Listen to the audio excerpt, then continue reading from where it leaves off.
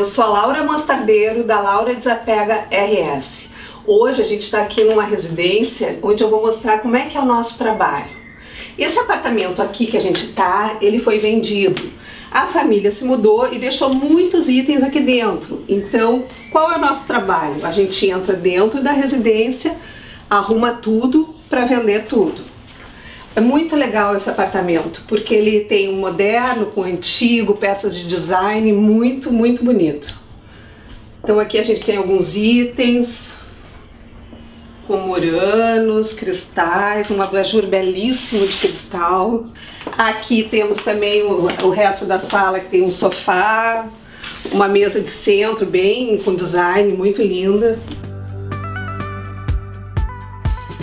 Aqui a sala de jantar também, uma mesa muito legal, umas cadeiras bonitas, tudo muito interessante. E é uma casa com muitos quadros também.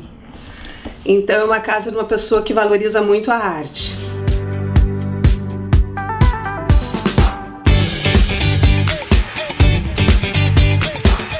E aqui é um lugar muito legal. A gente tem desde guitarra para vender.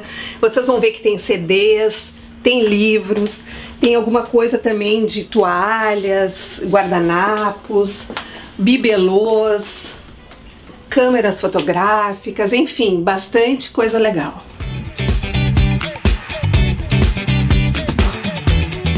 E aqui a gente tem um quarto uh, masculino, né? A gente tem Uh, desde roupas masculinas, alguma coisa de mala, tem também televisão, mochilas, tênis, botas.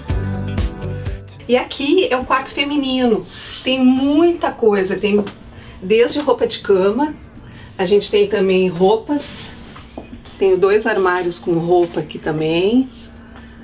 Enfim, tudo que tem numa casa é possível vender.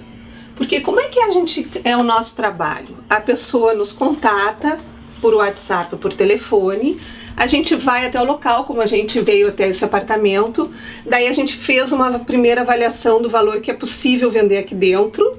Numa segunda etapa, a gente entrou aqui, organizou tudo e agora a gente já está numa etapa de colocar preços, colocar etiqueta de preços.